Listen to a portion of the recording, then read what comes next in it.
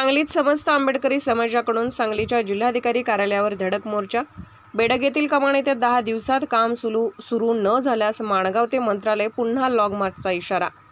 मिरज तालुक्यातील बेडग येथील डॉक्टर बाबासाहेब आंबेडकर यांच्या नावाने होणारी कमान पाडल्यानंतर अनेक आंदोलने मोर्चे निघाले. बेडगमधील आंबेडकरी समाजाने गाव सोडले त्याची दखल घेत राज्याचे उपमुख्यमंत्री देवेंद्र फडणवीस यांनी चर्चेसाठी आंबेडकरी समाजाला मुंबईत बोलावले. चर्चेअंती बेडगावचे सरपंच उपसरपंच यांच्यासह अन्य जणांवर मिरज ग्रामीण पोलीस ठाण्यात अॅट्रॉसिटी अंतर्गत गुन्हे दाखल करण्यात आले. बेडग येथील कमान बांधण्याबाबत आदेश देण्यात आले पण जिल्हा परिषदेचे मुख्याधिकाऱ्यांनी ग्रामसभा घेण्याचे आदेश दिले. व त्यानुसार ग्रामसभेत कमानीच्या विरोधात ठराव घेण्यात आला. या प्रकरणी बेडगमधील आंबेडकरी समाज आणि समस्त आंबेडकरी समाजाने आज सांगलीतील क्रांतिसिंह नाना पाटील चौक ते जिल्हाधिकारी कार्यालय धडक मोर्चा काढला. मोर्चात शेकडोच्या संख्येने आंबेडकरी जाधव आंबेडकरी बांधव सहभागी झाले. जिल्हाधिकारी कार्यालयावर सदरचा धडक मोर्चा काढून प्रशासनाला दहा दिवसांचं अल्टिमेटम देण्यात आलं आहे. येत्या दहा दिवसात कमानीचे काम सुरू न झाल्यास अकरा सप्टेंबर रोजी डॉक्टर बाबासाहेब आंबेडकर यांच्या पदस्पर्शाने पावन झालेल्या कोल्हापूर जिल्ह्यातील माणगाव येथून ते मंत्रालय मुंबई असा बेडक ग्रामस्थ पुन्हा लॉग मार्च काढणार असून एक काढणार असून कमाणीचे बांधकाम पूर्ण होईपर्यंत परतणार नसल्याचे डॉक्टर महेश कुमार कांबळे यांनी सांगितले. तर उपमुख्यमंत्री देवेंद्र फडणवीस यांनी दिलेल्या आदेशाला सरपंच आणि ग्रामपंचायत मानत नाहीत तर ही ग्रामपंचायत देवेंद्र फडणवीस यांनी बरखास्त करावी अशी मागणी डॉक्टर महेशकुमार कांबळे यांनी केली आहे. तर खासदार संजय काका पाटील पालकमंत्री सुरेशभाऊ खाडे व ग्रामपंचायत बेडक सरपंच उपसरपंच सदस्य आणि विरोधात जोरदारपणे घोषणाबाजी करण्यात आली. एव्ही न्यूज मराठीसाठी कार्यकारी संपादक इम्तियाज शेख यांचा रिपोर्ट. जून दोन हजार तेवीस रोजी बेडक गावामध्ये भारतरत्न डॉक्टर बाबासाहेबांची जी नावाची कमान होती ती कमान पूर्णत्वास जात असलेली कमान कुठल्याही शासकीय वरिष्ठ अधिकाऱ्याचा आदेश नसताना बेडगेचा गावगुंड सरपंच उमेश पाटील त्याचे सर्व सदस्य पालकमंत्री सुरेश खाडे खासदार संजय काका पाटील या सर्वांनी षडयंत्र करून जमीनदोस्त केली. त्यानंतर समस्त आंबेडकरी समाजानं वेगवेगळ्या माध्यमातून आंदोलनं उभी केली.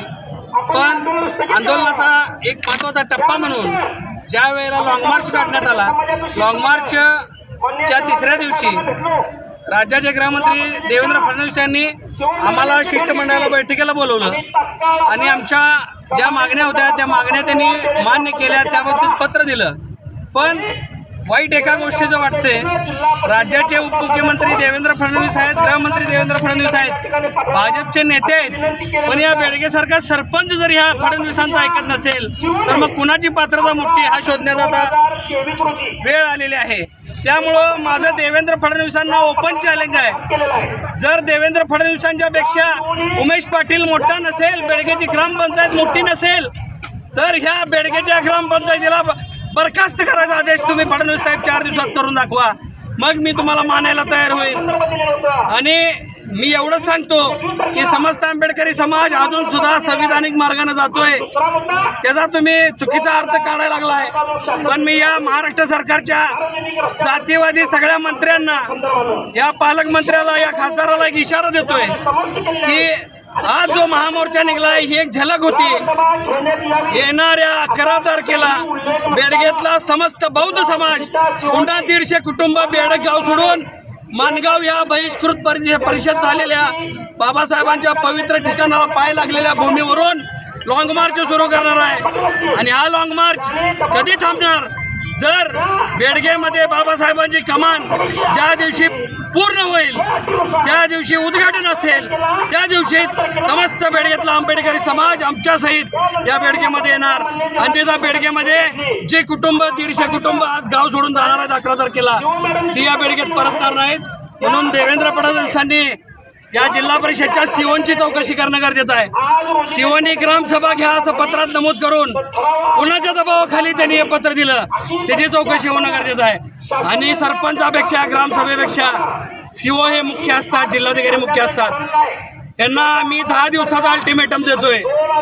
दहा तारखेपर्यंत जर तुम्ही बाबासाहेबांच्या कामाने कामाची सुरुवात नाही केली तर अकरा तारखेला परत हा आंबेडकरी समाज लॉंग मार्च सुरू करणार मानगाव ते मुंबई मंत्रालय.